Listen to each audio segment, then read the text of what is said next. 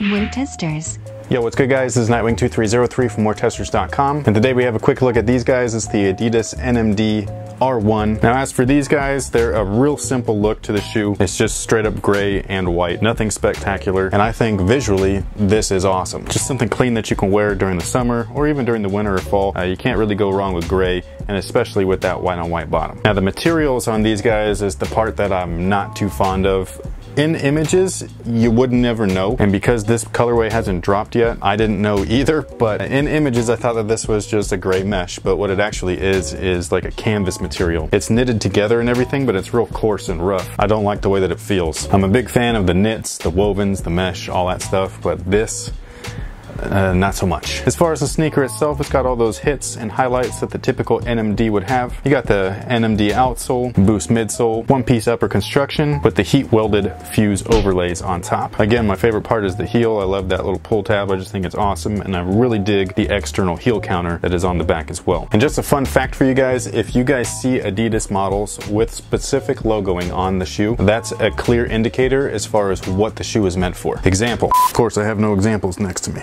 Oh, wait, here we go. The Ultra Boost. On the tongue here, you have the New Age Adidas logo. It's the three stripes with the Adidas font underneath it. That is the Adidas Performance logo. And I'm not joking either. That is legitimately the Adidas Performance logo. So if you see a shoe from Adidas with this logo on there, it's a performance model. Now the one that you see on the NMD and a lot of their other casual models is the classic Adidas logo, which looks like a pot leaf with the Adidas font underneath it. That's called the Adidas Originals logo. So when you see an Adidas model with the Adidas Originals logo on it, then that's a casual shoe. Now, are there exceptions to the rule? You're gonna see casual shoes with the equipment logo or performance logo on there and vice versa. I'm sure that there are exceptions to the rule. There is almost in anything but that is pretty much the standard. So again, if you see this logo on there, or right there, or wherever it might be on the shoe, even right there, god damn, they got a lot of Adidas logos on this thing. It's a casual shoe, it's an Adidas original, that's what they were intended for. If you see the equipment logo on there, which is the New Age logo, that's a performance model. Now as far as their fit,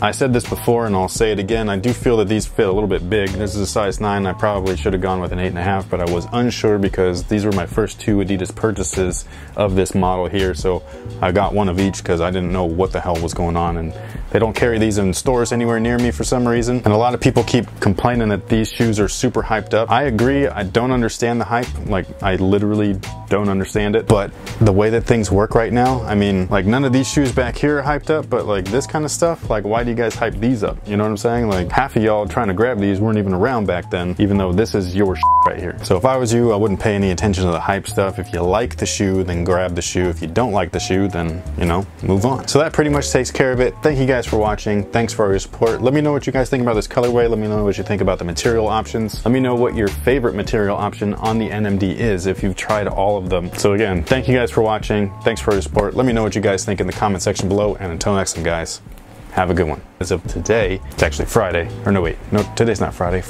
me. That's what she said. farts coming from your feet. And then we move on up to the Boost midsole. Now these guys here do not